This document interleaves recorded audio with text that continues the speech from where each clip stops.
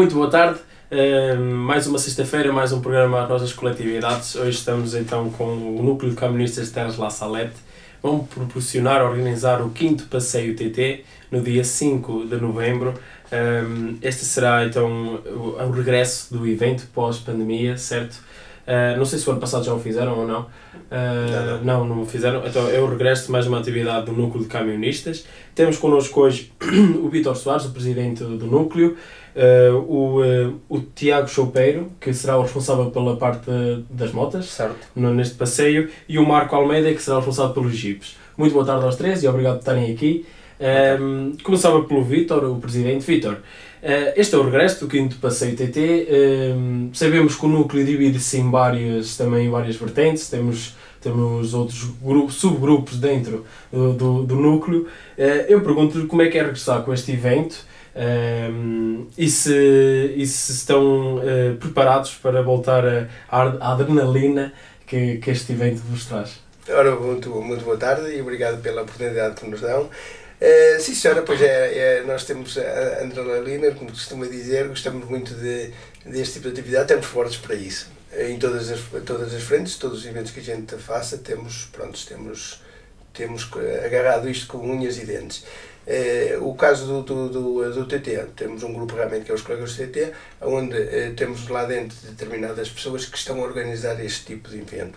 Porque dar, dar, dar ao TT as pessoas do TT, pronto, nós somos, nós somos motoristas de caminhões, eh, temos mais ou menos uma noção das coisas. Mas Eles que... têm nome, são, divididos, são divididos. Nós sabemos que temos, por exemplo, os All-Rider que são dentro do núcleo de caminhonistas. Sim, claro. O pessoal do TT também tem um nome. Tem, também tem um nome, sim. É um grupo específico só para. Pronto, em que, eles, em que estes grupos são autónomos, cada um deles, eles fazem as coisas certo, ou, certo. Uh, por iniciativa deles e nós estamos aqui para apoiar. Estamos aqui para apoiar toda a logística do, do, do evento. No outro ano, no último fizemos, fizemos com o GNTT muito bem. Eh, desta vez, pronto, fomos, fomos apalpando as coisas e fomos fazer por nós. Claro que continuamos a, e contamos com o IGNTT, porque é um, uma associação também vocacionada aqui para, para, para os TTs. Claro que sim. Um, ehm, Tiago e Marco, uh, vocês são então, se calhar, os principais responsáveis por esta organização, diria eu, não? Estou a dizer alguma mentira? Sim, é verdade. É verdade. Uh, começava pelo, pelo Tiago que está aqui mais perto de mim. Tiago, uh, responsável pelas motas, uh, de que forma é que estão a organizar o percurso, de que forma é que estão a processar as inscrições, tudo isso, um, ehm, e como é que estão à espera dessa adesão da de, de parte das pessoas depois do regresso, depois desta paragem de dois anos? Muito boa tarde. Até agora está tudo a correr dentro da normalidade. Temos tido uma pequena adesão, Pá, esperamos que em breve haja mais adesões. O percurso está a ser feito de forma. Está tudo já dentro do organizado, já temos tudo estipulado. Em breve será feita a marcação do percurso, já temos uns pequenos obstáculos para a malta se divertir. Por isso penso que o percurso vai correr tudo bem. Esperamos é que o tempo ajude também. O tempo para vocês o bom é, é sem aquela chuva, não é? Que nos, mais ou menos. Chova e que não chova. Que não chova. Sim talvez como fosse o, o dia de hoje em que está assim meio a chover e que está meio sol, meio chuva, não é? Uh, Marco, o percurso de, do Jeep será o mesmo das motas? O que é que vai ter diferente? Quais serão os obstáculos uh, para os Jeeps? Como é que será a pista também de, depois no final da, da, da corrida? No passeio, aliás. Ora, muito boa tarde. Um, isto, o percurso das, eh, das motas é sempre maior do que o dos jipes, os jipes vai ser ligeiramente mais pequeno. Uh, eu considero o percurso um trajeto curto, mas lento, ou seja, vai ser demorado, vai ser um circuito trabalhoso. Uh, acho que isso vai dar algum, algum prazer e algum gosto a quem, a quem participar. Em relação à pista, uh, na minha opinião, finalmente conseguimos fazer uma coisa diferente, acho que vai ser inovador uh, uma pista mais natural, algo que as pessoas não estão, não estão tão habituadas. Uh, e penso que vai ter tudo para dar algum espetáculo, quer a, a nível de percurso, quer a nível de pista. Agora falta-nos ter a aderência e o tempo. Não é? Uh, perfeito seria ser molhado sem chuva. Uh, em relação à aderência, eu estou convencido que nas próximas semanas vamos ter uma boa aderência. Muito bem. Eh, são vocês, são vocês que fazem o próprio percurso, certo? Sim, somos. Para onde é que vai passar? Onde é que vai andar esse, esse percurso? Para onde, é que, para onde é que vai passar? Quais são os freguesias? Será aqui tudo, é tudo aqui? zona Conselhia, zona de, principalmente vamos também a Valdecambra, Passamos pela freguesia de Carregosa, aqui em, em Oliveira das Meias, Trabanca, Pinheiro da Bemposta, Macinhata da Seixa, o Sela também. É, é a zona concelhia toda. Certo. Vamos às extremidades do Conselho e passamos a Val de Câmara, mas eh, é tudo aqui na região perto. Uh, no final, uh, vocês vão ter uh, também alguma diversão, certo? Perguntaria-vos com que, com que forma é que estão a organizar essa parte também. Não sei se qual é que você está responsável. Será mais a parte do Marco. É, como é que será? Isto, não sei se será bem a minha parte, mas pronto, tenho conhecimento, também posso falar. Ahm, acho que vai tudo de encontro às condições que nós vamos eh, criar na pista, além do espetáculo dos jipes em si. ahm, vai haver, se calhar, algumas surpresas, uma- algumas coisas diferentes. ah, podemos ter uma atividade como, como a lavagem dos jipes, que se calhar vai um bocadinho de encontro àquilo que, que o núcleo já fez com outros, outras atividades, como os caminhões. E acho que isso também é uma forma de eh, incentivar e cativar o pessoal a participar e a inscrever-se, porque eu acho que tem tudo para ser um dia, um dia divertido. As motos estão a ficar para trás, Tiago. Não, é- não é Hum, diversão não, nenhuma. também há na mesma pista e vai partilhar da mesma diversão, Ah, basicamente. ok, ok. Vai ter algum momento em comes e bebes eh, ou nem por isso? Sim, Sim. eh, sim. Nós, nós, nós ao- a meio do percurso, mais ou menos, vamos ter o mata-bicho, que é o normal que se Sim. faz tudo em, em termos de, de, de TTs, e depois vamos ter o almoço em Trabanca, eh, na Associação A Turma da Bola, portanto, é, é a Turma da Bola que vai fazer o mata-bicho e vai fazer, e vai fazer o almoço.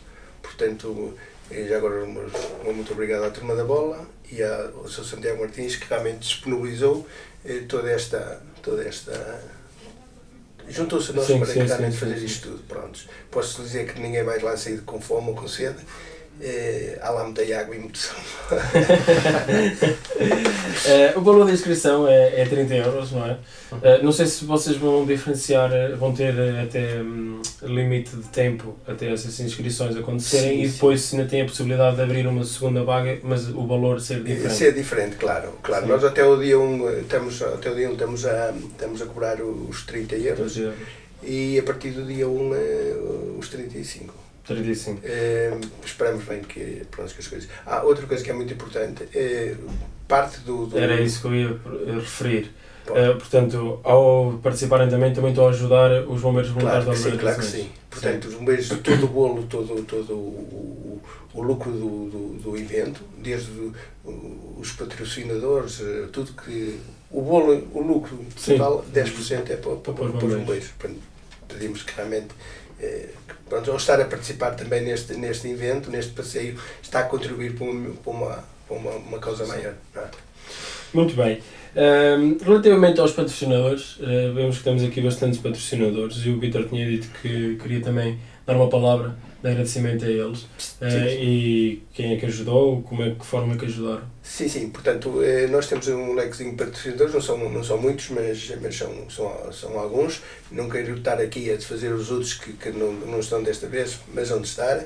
Eh, Quero aqui destacar realmente o nosso patrocinador oficial, que é o, eh, a Piscomotor, que é um standard, é um standard de carros que, de automóveis, da linha automóveis que dá na zona da Algoria Velha. É o Piscomotor. Depois temos aqui realmente 20 empresas, eh, prontos, que posso mencionar, mas acho que não, não é muito não é bastante relevo. Mas claro, elas estão aqui e nas nossas páginas, nestas coisas todas, eles está lá e pode ser visto e apresentado. O que eu queria, o que eu queria realmente era fazer o apelo de que realmente haja participação, eh, porque ao haver participação estão a ajudar os bombeiros, Os estão a ajudar, eh, estão a ajudar uma associação que, que neste momento, como toda a gente sabe, as associações, todas elas lidam com um bocado de dificuldade. Porque porque é assim, porque as pandemias e estas coisas todas vieram afetar tudo isto e nós, todos nós, claro, e eu falo aqui em nome do, da, do NCTL, do Núcleo Ministério do Acelete, como posso falar noutra associação qualquer. Eh, estes tipos de eventos deviam ser participados ao máximo para ajudar que realmente que o associativismo não caia e que não morra, que continue sempre. É isso que, o apelo que eu faço. Claro. Eh, da vossa parte, de- tanto do Tiago como do, do Marco, vocês têm interesse, como é óbvio, que as pessoas se inscrevam para participar. Mas depois no final, na parte da pista, também é interessante que venham as pessoas ver De fora, e sim. conviver, não é? Sim. Certo. É importante que o público também adira para vir ver, bem se divertir, dá para comer, dá para beber, por isso a gente está lá disposto a receber toda a gente. E onde é que será a pista? Em Figueiredo. Em Figueiredo? Sim. Ok. É a consideração, é que é no, no A núcleo. concentração é no núcleo de Games Terras da Salete, vai fazer o seu dito passeio, eh, almoço, depois, entretanto, claro que as motas irão chegar primeiro com os jipes, mas, mas Sim, isso é é, normal. é normal. Eh, vão para a pista de trial, onde realmente está lá o, o público à espera de, de- Da diversão. da diversão. Ao final do dia, claro que a diversão é outra.